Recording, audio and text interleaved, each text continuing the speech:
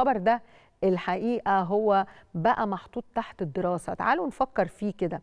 إحنا بنشتغل كام يوم في الأسبوع؟ يعني بنشتغل في دول بتشتغل الأوروبية بتشتغل خمس أيام في الأسبوع وبيبقى عندهم ال weekend أو اللي هو الجمعة والسبت والحد يعني بيبقوا أجازة. دول بتشتغل ست أيام وفي ناس بيشتغلوا سبعة أيام طبعا في الشفتات. لكن عايزة أقول لكم إنه بقى في كده فكرة دلوقتي موجودة في بريطانيا وتجربة تجربة ناجحة جدا إن هم يشتغلوا أربع أيام ويخفض عدد أيام عمل الموظف في الأسبوع ويشارك عدد كبير في التجربة دي. الهدف منها إيه؟ يعني إيه فكرة إن إحنا نشتغل أربع أيام ونقلل عدد ساعات هي إنه يحقق التوازن ما بين الحياة والعمل. يعني اللي هو أنا هشتغل أربع أيام شغل منضبط بعدد ساعات منضبطة بإنتاجية منضبطة وهزود الإنتاج لكن هيبقى عندي الثلاث أيام التانيين بتوع الأسبوع أنا هكون واخد أجازة. السؤال هنا بقى طيب هل ممكن تعميم التجربة؟ يعني ممكن التجربة دي دول كتير تستفيد منها؟ إيه الفوائد بتاعتها؟ وأضرارها إيه؟ وهل هي فعلا ممكن تزود الإنتاج؟ ولا حد يقول لك يا عم أربع أيام ده ما نلحقش والشغل يقف والشغل يتأخر؟ طب بس لو دولاب العمل زي ما بنقول منضبط بالدقة والناس بتيجي تشتغل فعلا وتنجز وتنفذ الجدول بتاعها لا ليه؟ ممكن جدا يتم الإنجاز. خلينا ناخد مزيد من الآراء ونعرف إزاي التجربة البريطانية دي هل ممكن تطبيقها وهل هي فعلا ممكن تنجح ولا لا. دكتور رأفت يوسف أستاذ علم آآ آآ الإدارة والموارد البشرية. مساء الخير دكتور رأفت. شفتي هاني مساء الخير ازيك؟ أخبارك إيه؟ الحمد لله تمام. يعني تجربة بريطانيا بعمل أربع أيام انت بتشوفها إزاي؟ هل فعلا التجربة دي ممكن تحقق يعني نفس الإنتاجية أو إنتاجية أعلى؟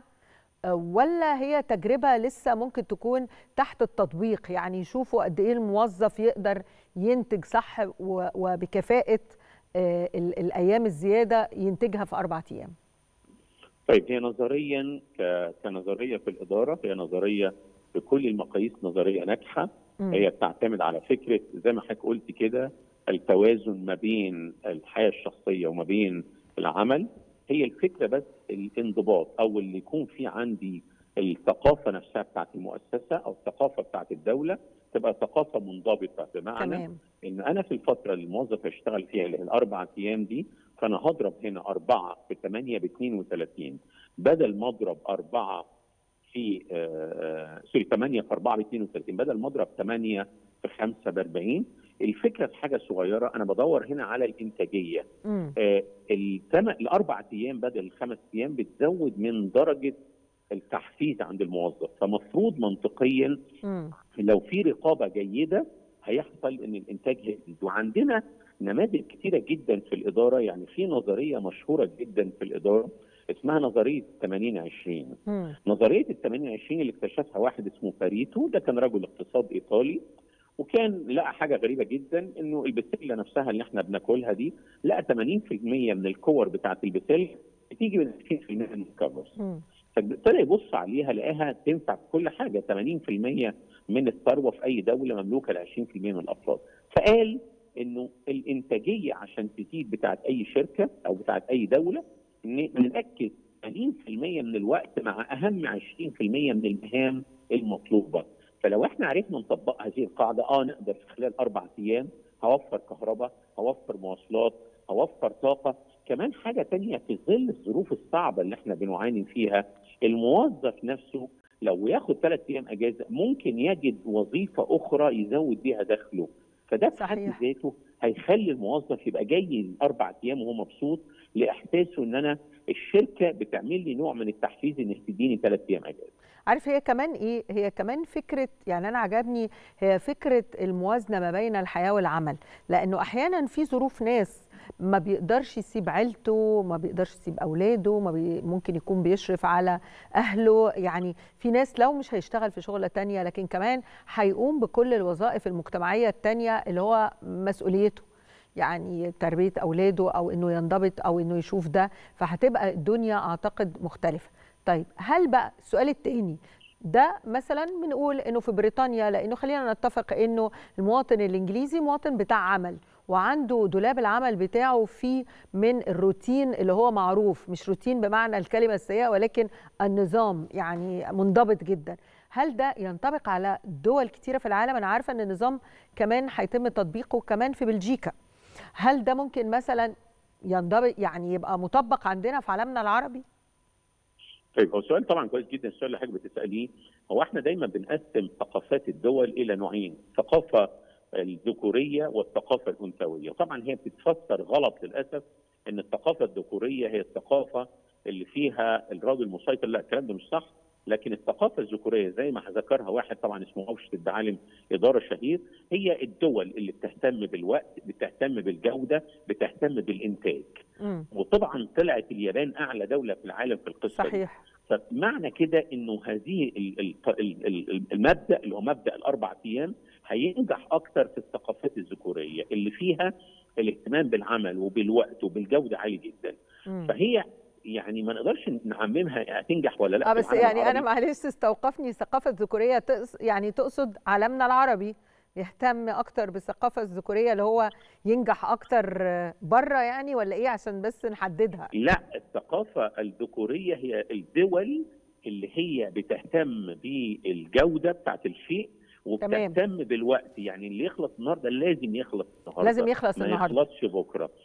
فبالتالي ال- الدول دي هي اللي طبقت فكرة الأربع أيام هتنجح.